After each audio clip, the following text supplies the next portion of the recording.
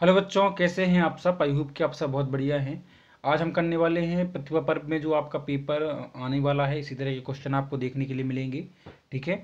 दो हज़ार इक्कीस, दो हज़ार बाईस का जनवरी में शुरू होने वाला है है ना? हाफ़ ऑफ़ जनवरी डिस्क्रिप्शन में लिंक दी गई है और जो प्रतिभा पर्व में आपके, जो आपको गैप सामग्री दी गई है वर्कशीट दी गई है, उनका सॉल्यूशन भी आप कंप्लीट करें, उनको पढ़ें अच्छे से। लिंक दी गई है डिस्क्रिप्शन में, वहाँ से जाकर देखें या प्ले पर जाकर भी आप देख सकते हैं। कंप्लीट सॉल्यूशन उनका भी मिल जाएगा, क्योंकि प्रतिभा पर में वो भी आएगा आपका, उन्हीं में से आएगा, ठीक है? कब आपका एग्ज़ाम है, वो भी आपका टाइम टेबल मैंने बना दिया है तो आप जाकर ज़रूर देखें। चलिए बच्चों, शुरू करते हैं। पहला क्वेश्चन क्या है, देखिए। विज्ञान का करने वाली है। जीवों में संवेदी इंद्री अंग कौन सा है? संवेदी इंद्री अंग, ठीक है? तो बच्चों, इसका सही आंसर हो जाएगा आपका इसका सही आंसर हो जाएगा आपका आँख। आँख एक सेंस ऑर्गन है। क्या है? सेंस ऑर्गन ओके अगला क्वेश्चन क्या है? देखिए, पानी में डूबने वाली वस्तु कौन सी है? तो बच्चों, पानी में डूबने वाली वस्तु है। द लोहे की कील जो है, वो पानी में डूब जाएगी। क्योंकि, ठीक है? अगला क्या है? अनवीकृत, जो पुनः उपयोग ना किया, जैसे कि कौन सा साधन है? तो कोयला एक ऐसा ऊर्जा का संसाधन है, जिसको हम पुनः उपयोग नहीं कर सकते, ठीक है? क्योंकि वो रीयूज नहीं कर सकते, एक बार जल गया तो समझ लो वो खत्म है। बाकी जो आप देखते हैं, सौर ऊर्जा, विद्युत ऊर्जा और पवन ऊर्जा, इसको हम रिसाइकिल मतलब फिर से यूज़ कर सकते हैं क्योंकि ये खत्म नहीं होने वाली। लेकिन जो कोयला है, वो अनवीकृत ऊर्जा का संसाधन है, ठीक है? अगला क्या है, देखिए, लोग बैंक जाते हैं, क्यों?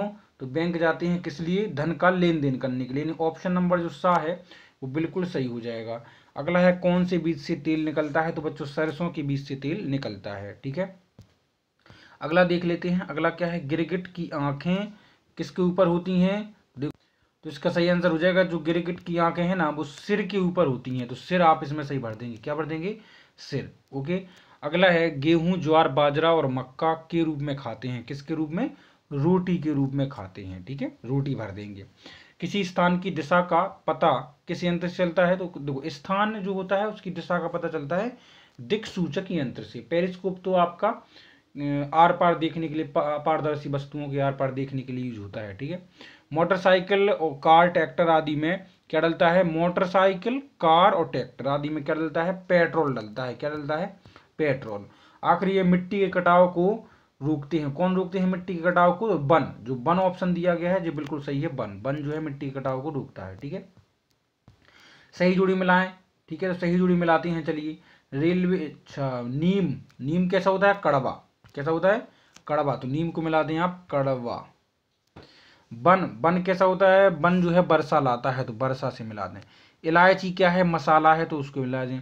उचित मूल्य की दुकान पर राशन मिलता है और का जो है, रेलवे स्टेशन हो जाएगा इसका, ठीक है? तो आप इस तरह से इनको मैच कर सकते हैं। अगला क्या है? प्रकृति से हमें क्या क्या प्राप्त होता है? ठीक है? वनों की कमी हो जाए तो क्या होगा? चलो मैं इसको आपको आंसर बताता हूँ। देखो दिया गया है।